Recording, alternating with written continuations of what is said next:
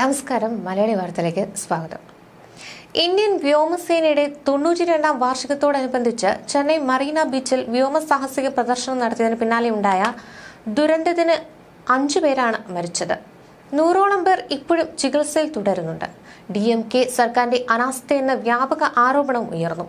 നിർജലീകരണമാണ് പ്രധാന മരണകാരണമെന്നാണ് പോസ്റ്റ്മോർട്ടം റിപ്പോർട്ടിൽ പറയുന്നത്. മറീന ബീച്ചിൽ എയർഫോഴ്സിന്റെ ഷോ കാണാൻ പതിമൂന്ന് ലക്ഷം പേരാണ് ഞായറാഴ്ച എത്തിയത് ഇവർക്ക് ആവശ്യത്തിന് കുടിവെള്ളം ലഭ്യമാക്കുകയോ ടണൽ സൗകര്യം ഒരുക്കുകയോ ചെയ്തിരുന്നില്ല. ഇരുന്നൂറിലധികം പേരാണ് സ്ഥലത്ത് തളർന്നു വീണത്. നൂറിലേറെ പേർ ആശുപത്രിയിലാണ്. രാവിലെ ഏഴിന് തന്നെ ബീച്ച് നിറഞ്ഞിരുന്നു. ഉച്ചയ്ക്ക് ഒരു മണിക്കാണ് ഷോ അവസാനിച്ചത്. പൊരുവേലത്ത് മണിക്കൂറുകൾ നിന്ന് വലഞ്ഞ ജനം തിരികെ പോകാൻ തിക്കിത്തിരുക്കി. അവധിയും ചെന്നൈയിലെ ഏറ്റവും വലിയ എയർ ഷോ കാരണം ലക്ഷക്കണക്കിന് കുട്ടികളും യുവാക്കളും സ്ത്രീകളുമാണ് രാവിലെ മുതൽ മെറീന ബീച്ചിലേക്ക് ഒഴുകിയെത്തിയത്. കഴിഞ്ഞ ദിവസം രാവിലെ പതിനൊന്ന് മുതൽ പുലർച്ചെ ഒരു മണിവരെ നടന്ന പരിപാടിയിൽ തമിഴ്നാട്ടിലെ ഇതര ജില്ലക്കാരും ഇതര സംസ്ഥാനങ്ങളിൽ നിന്നുമുള്ള പ്രമുഖർ ഉൾപ്പെടെ പതിനഞ്ച് ലക്ഷത്തിനടുത്ത് ആളുകൾ പങ്കെടുത്തു. ഈ സംഭവം ലിങ്ക ബുക്ക് ഓഫ് റെക്കോർഡ്സിലും ഇടം പിടിച്ചു.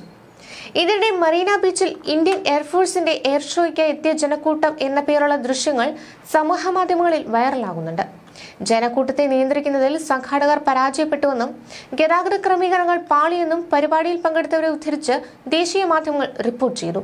ചെന്നൈ റെയിൽവേ സ്റ്റേഷനിൽ കാലുകുത്താൻ പോലും ഇടമില്ലാതെ ജനങ്ങൾ നിൽക്കുന്ന വീഡിയോകൾ സമൂഹ മാധ്യമങ്ങളിൽ വൈറലാകുന്നതായി ഹിന്ദുസ്ഥാൻ ടൈംസ് റിപ്പോർട്ട് ചെയ്തു. ചെന്നൈ റെയിൽവേ സ്റ്റേഷനിൽ നിന്ന് എന്ന തലക്കെട്ടുകളോട് പങ്കുവച്ചിട്ടുള്ള വീഡിയോയിൽ ജനങ്ങൾ പ്ലാറ്റ്ഫോമിൽ തിങ്ങി ഞെരുങ്ങി നിൽക്കുന്നത് കാണാം.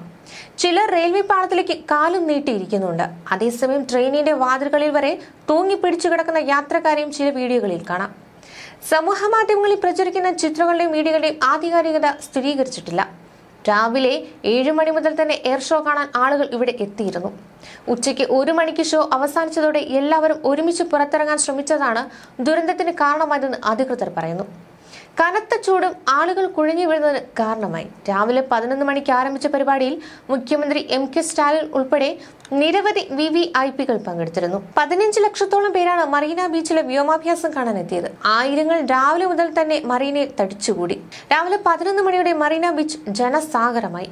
ചുട്ടുപൊള്ളുന്ന വെയിലിൽ നിന്ന് രക്ഷപ്പെടാൻ ചിലർ കയ്യിൽ കുടയും വെള്ളവുമായി എത്തി. എന്നാൽ ആയിരങ്ങൾ ഒരു മുന്നൊരുക്കവുമില്ലാതെയാണ് എത്തിയത്. അടിസ്ഥാന സൗകര്യമൊരുക്കുന്നതിൽ വൻ വീഴ്ച എന്ന ആക്ഷേപവും ശക്തമാണ്.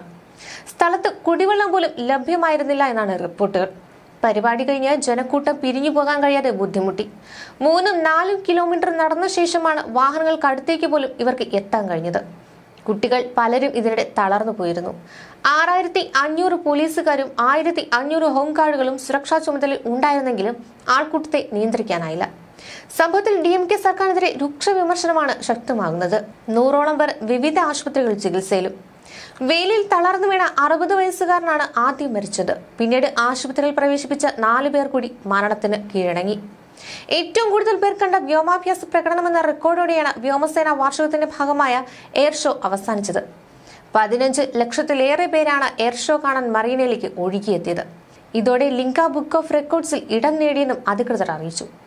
പൊതു അവധി ദിവസം കൂടിയായതിനാൽ മറീനിലേക്ക് ജനം ഒഴുകിയെത്തുകയായിരുന്നു. വൻ തോതിലുള്ള ട്രാഫിക് വഴിതിരിച്ചുവിടലും പാർക്കിംഗ് നിയന്ത്രണങ്ങളും പരിപാടിക്ക് മുമ്പായി എല്ലാം സുഗമമായി നടന്നിരുന്നു.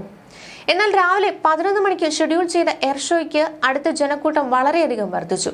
മെറീന ബീച്ച് റോഡിലെ M R T S railway station ആളുകളുടെ കടലായി മാറി. പരിപാടി കഴിഞ്ഞ് ജനക്കൂട്ടം പിരിഞ്ഞു പോകാൻ തുടങ്ങിയതോടെ സാഹചര്യം ദുസ്സഹമായി.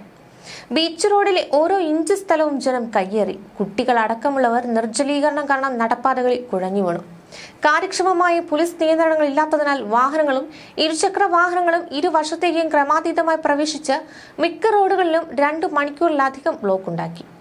പല പോലീസുകാരും തങ്ങളുടെ ഇരുചക്ര വാഹനങ്ങളിൽ ഊമക്കാഴ്ചക്കാരായി മടങ്ങുന്ന അവസ്ഥയായിരുന്നു. അവർ സ്ഥിതിഗതികൾ നിയന്ത്രിക്കുകയോ ഒറ്റപ്പെട്ട ആംബുലൻസുകളെ സഹായിക്കാൻ ഇടപെടുകയോ ചെയ്തില്ല എന്ന ആക്ഷേപവും ഉയരുന്നുണ്ട്. പതിനാറ് ലക്ഷത്തോളം ആളുകളെ അണിനിർത്തി ലിങ്ക ബുക്ക് ഓഫ് വേൾഡ് റെക്കോർഡിൽ ഇടം പിടിക്കാൻ ലക്ഷ്യമിട്ടുള്ള എയർ ഷോ രാവിലെ പതിനൊന്ന് മണിക്ക് ആരംഭിച്ച് ഉച്ചയ്ക്ക് ഒരു മണിവരെയാണ് തുടർന്നത് തമിഴ്നാട് മുഖ്യമന്ത്രി എം കെ സ്റ്റാലിൻ തിങ്കളാഴ്ച അനുശോചനം രേഖപ്പെടുത്തി. മരിച്ചവരുടെ കുടുംബങ്ങൾക്ക് അഞ്ചു ലക്ഷം രൂപ വീതം ധനസഹായം പ്രഖ്യാപിച്ചു. അമൂല്യമായ അഞ്ച് മനുഷ്യജീവനുകൾ കൊടും ചൂടും മറ്റു കാരണങ്ങളും മൂലം നഷ്ടപ്പെട്ടു എന്നറിഞ്ഞതിൽ ഞാൻ വേദനിക്കുന്നു. മരിച്ചവരുടെ കുടുംബങ്ങൾക്ക് ഇത് നികത്താനാവാത്തതും വലിയ നഷ്ടവുമാണ്. അവർക്ക് വേണ്ടി അഗാധമായ അനുശോചനം അറിയിക്കുന്നു. മരിച്ചവരുടെ കുടുംബങ്ങൾക്ക് അഞ്ചു ലക്ഷം രൂപ വീതം ധനസഹായം നൽകാൻ ഞാൻ നിർദ്ദേശം നൽകിയിട്ടുണ്ടെന്നായിരുന്നു സ്റ്റാലിൻ പറഞ്ഞത്. തമിഴ്നാട് ബി ജെ പി അധ്യക്ഷൻ കെ അണ്ണാമലൈ സംഭവത്തിൽ അഗാധമായ ഞെട്ടൽ രേഖപ്പെടുത്തി. സംസ്ഥാനം ഭരിക്കുന്ന ഡി എം കെ സർക്കാരിന് മേൽ കുറ്റം ചുമത്തി. അഞ്ചു ജീവൻ നഷ്ടപ്പെട്ടത് ഒരു അപകടമായി മാറ്റാൻ കഴിയില്ല അണ്ണാമലൈ പറഞ്ഞു. അടിസ്ഥാന സുരക്ഷാ നടപടികളും ഗതാഗത ക്രമീകരണങ്ങളും ഒരുക്കുന്നതിൽ ഭരണകൂടം പരാജയപ്പെട്ടു. മുഖ്യമന്ത്രി എം കെ സ്റ്റാലിനെ വിമർശിച്ച അദ്ദേഹം രാഷ്ട്രീയ പ്രചാരണത്തിനു വേണ്ടി പൊതുസുരക്ഷയെ അവഗണിക്കുകയാണെന്നാണ് ആരോപണം.